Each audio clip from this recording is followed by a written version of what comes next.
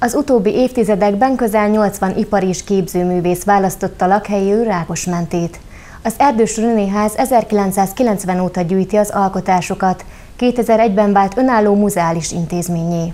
A múzeum vezetői újdonságaik és műkincskészletük beszerzésének történeti bemutatásával kapcsolatban rendeztek kiállítás megnyitót. Repertoárja új darabjait, melyet október 14-től láthatóak, pályázatok, ajándékozás és vásárlás útján szerezték be. Hódos Mária művészettörténész elmondta, hogy a házban található alkotások gyűjtése önkormányzati beszerzések útján indult el 17. kerületi művészek munkáinak megvásárlásával. Később sikeres pályázatok során bővült az intézmény repertoárja. 2002-ben és 2003-ban az önkormányzat által kerületi művészektől vásárolt képzőművészeti alkotások már egyből a múzeumba kerültek, és 2005-ben pedig az önkormányzat már kifejezetten az Erdős Renéház gyűjteményének gyarapítása céljából vásárolt műveket. 2014-ben, 2015-ben és 2016-ban Ádám Ferenc gyűjtemény vezető sikeresen pályázott a Nemzeti Kulturális Arab Képzőművészeti és Iparművészeti Kollégiumánál.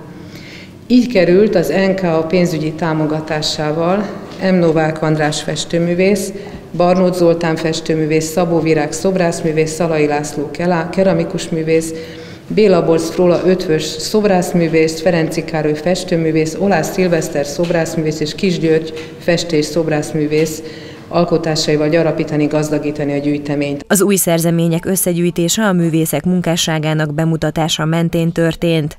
A műgyűjtemény gyarapító pályázatokon továbbra is indul a múzeum. Hódos Mária az ajándékozás útján történő beszerzésről, és arról is beszélt, hogy az intézmény milyen esetekben vásárol műalkotásokat. A vásárlások esetlegesek, akkor van erre lehetőség, hogyha az önkormányzat átad a gyűjteménynek egy-egy birtokába került művészeti alkotást. A múzeum ajándékozás útján is gyarapítja időről időre gyűjteményét, ami legtöbbször egy-egy kiállításhoz kapcsolódik. A múzeum két emeletén október 14-én elindult kiállításon nem kerül bemutatásra az intézmény képzőművészeti gyűjteményének minden darabja. Az alkotásokat úgy válogatták össze, hogy az eddig még tárlaton nem szereplő és régen kiállított műveket ismerhesse meg a közönség. Az Erdős Renéház koncepciója továbbra is az, hogy a kerület vizuális művészetéről átfogó képet adjon. A gyűjtemény egyes darabjai Budapesten, sőt Magyarországon kívül is láthatóak lesznek majd.